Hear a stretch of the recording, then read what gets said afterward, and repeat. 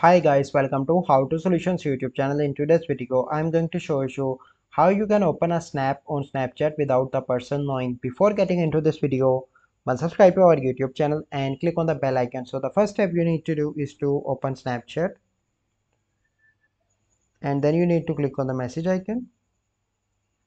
So the first step you need to do is to turn off your internet connection and uh, you need to turn on the airplane mode once you turn on the airplane mode you simply need to tap on the message and you can see that of any snap and your uh, internet connection and your mobile is in airplane mode. Once you've done that you simply need to click on the snapchat and you need to uninstall the snapchat application on the airplane mode. Once you've done that you simply need to install the snapchat from play store again